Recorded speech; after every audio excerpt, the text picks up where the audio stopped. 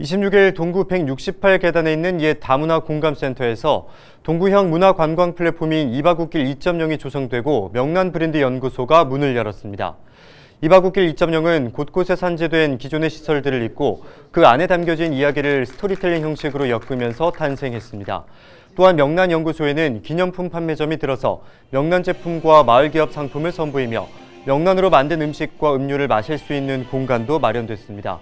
동구청은 명란이 동구에서 처음 만들어졌다는 사실을 알리고 이바구길의 가치를 높여 전국에 알리는 기회가 될 것으로 기대했습니다.